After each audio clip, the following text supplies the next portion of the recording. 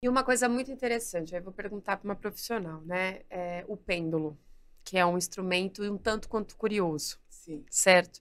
Porque as pessoas manuseiam tal, e aí quem que está manuseando isso? Será que é uma energia positiva, uma energia, energia negativa? Ou quem será? Quem é?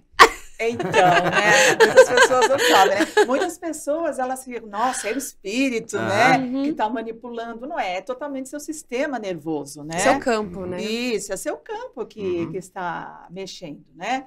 Então, você está lá com a sua frequência e você vai captar com o pêndulo a frequência que está aqui. De repente, eu posso pegar a sua frequência, né? Uhum. Eu já estou sentindo uma frequência sua aqui e Aham. dela também, Aham. né? Sem o pêndulo. Olha lá. Você quer um pêndulo para fazer? Então, eu não gosto. Eu tenho um pêndulo. Eu Eu, não- é, acho eu- que tá na minha bolsa, porque eu tenho um pêndulo. Então, mas eu não gosto de pegar de pegar no outro, outros. Ah, não? sim. Ah, tem é, isso também? tem isso também. Sabe, porque é uma coisa muito particular dela. É. Ah, tá. Mas eu tô fazendo essa pergunta porque eu trabalho com pêndulo já tem Ai, bastante tempo. legal. Mas eu não sou radiestesista, Tá. tá? Uhum. Só com pêndulo. Legal. Tá gostando? Muito. Então. É viciante, eu ponho ele na Viciante. bolsa. É.